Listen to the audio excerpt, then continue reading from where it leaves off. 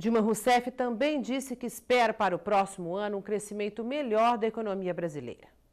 Eu vou fazer o possível e o impossível para que o crescimento do Brasil seja cada vez maior.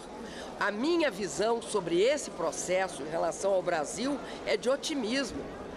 É uma visão de um país que tem força para crescer, para gerar emprego e para segurar seus investimentos. Porque a gente tem de ter clareza disso. Nós estamos em condições absolutamente diferentes.